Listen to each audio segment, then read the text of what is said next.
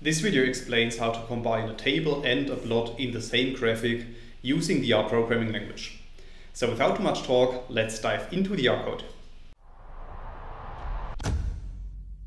In this video I will show you an example and for this example we first need to create a data frame as you can see in lines 2 to 4 of the code.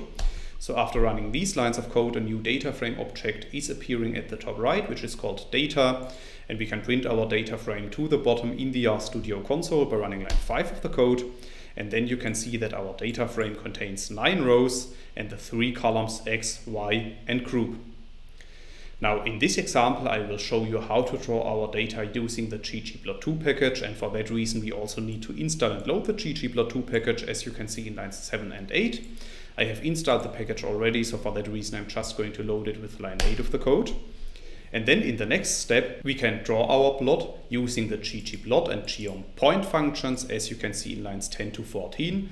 So after running these lines of code, a new plot object called ggp is created, and we can draw this plot to the bottom right of RStudio by running line 15 of the code.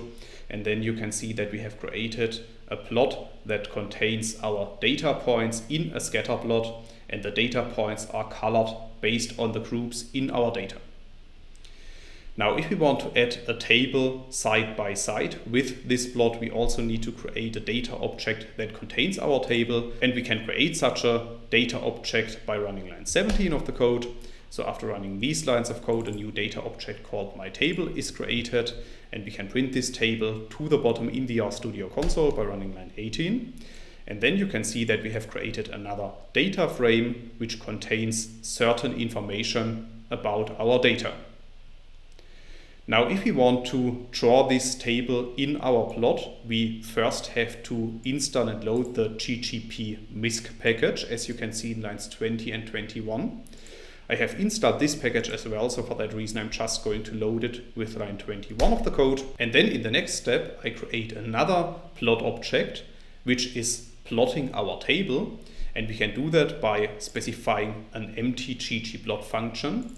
Then I use the theme void to remove everything in the background. Then I use the annotate function to annotate our table that we have created before to our plot. So after running lines 23 to 28 of the code, this new plot object called ggp table is created and we can draw our table object to the bottom right by running line 29 of the code. And then you can see that we have created a table plot with an empty background. So now the final step of this tutorial is to combine our plot and our table.